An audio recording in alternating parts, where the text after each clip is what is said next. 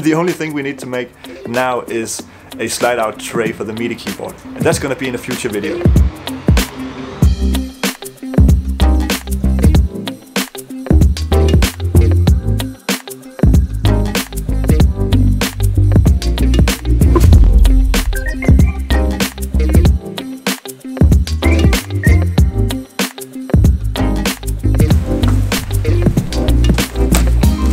So what we're gonna do now is we're gonna build the sides for the shelf that goes in the hole where the MIDI keyboard is gonna stand on the top. So we're gonna build the sides first, and then we're gonna build the uh, deck, and then after that we're gonna build a piece on the back, put it all together and mount it on the sliders inside of the hole in the middle of the desk. That's a lot of stuff, so let's just get sewing.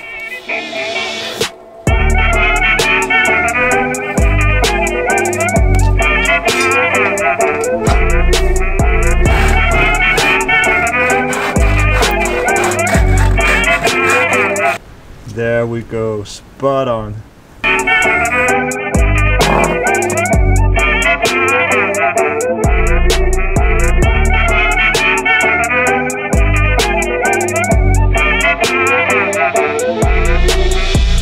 Alright, so that's the two pieces for the sides. Now let's make the bottom piece and the back piece.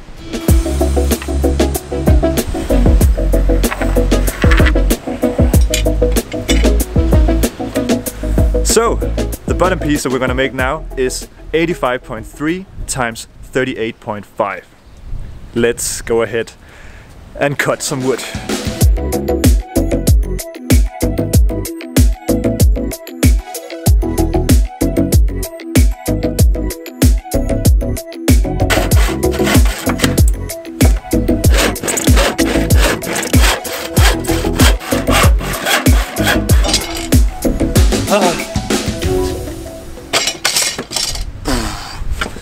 We did it! Jesus Christ, it took a long time.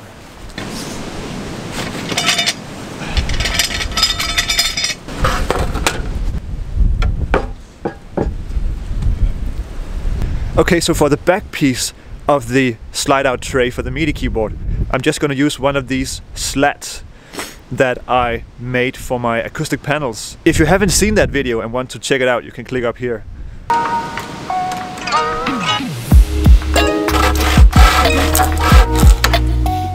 Sir.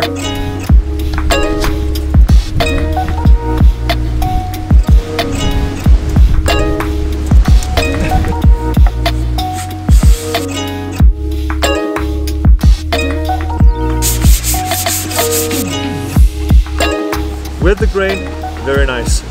Against the grain, not nice. Okay, moment of truth.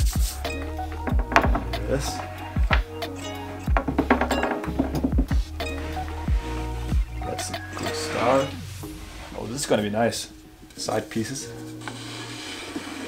Then the last one here. Oh, that's tight. That's tight. Okay. It doesn't fit. So what we need to do is to cut freaking two millimeters off this bottom piece and then try again. It's gonna be so hard to only cut off two millimeters. I'm gonna try my very best.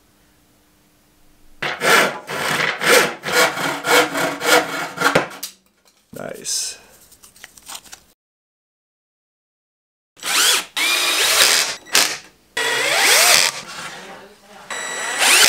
The next day, Alright, it's now the next day, all of a sudden. And look what we made yesterday.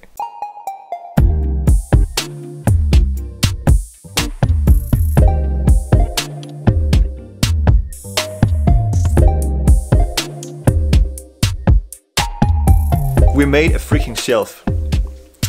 Uh, and that's very nice. But I ran into some serious problems about the sliders. I tried to make it fit uh, but it didn't happen.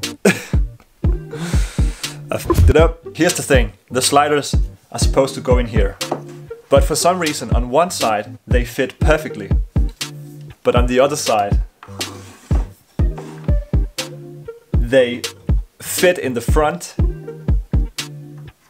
and then they get stuck. So something in here is just totally uneven, which I cannot believe because I made it myself. From here we have two options. Option number one is to try and make the sliders fit. That's gonna be freaking precision work and I think I'm not the guy to do it. The second option is to just use it without because check this out. 100% works. It's doing what it's supposed to do. It's just leaning on the top of the desk. Guess it's, it's not like the most uh, glamorous way of making a slide out tray for your MIDI keyboard, but it is a slide out tray for your MIDI keyboard. For now I'm actually pretty uh, like uh, okay with this. it works. It's totally steady. I guess if it, if it works, it works. So yeah, I hope you found this video helpful. Um, and you got something out of it. I got a shell for my MIDI keyboard, so I'm, I'm, I'm pretty happy. If you want to make one of these yourself, I have a blueprint in the description that you can check out. And other than that, it's just uh, it's nice that you're watching this video. I appreciate that a lot. Um, see you in the next one, I guess.